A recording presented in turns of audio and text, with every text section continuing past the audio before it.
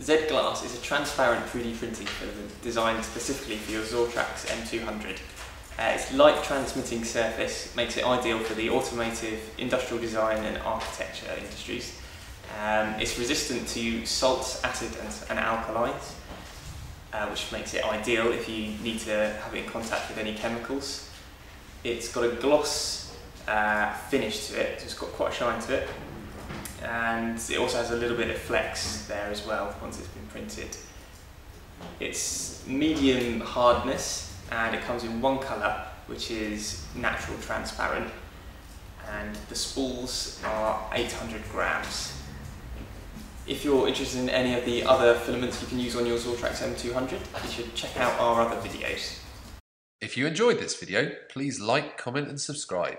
Also come follow us on Facebook, Twitter and Instagram. You can find out more about our products and services by visiting dream3d.co.uk.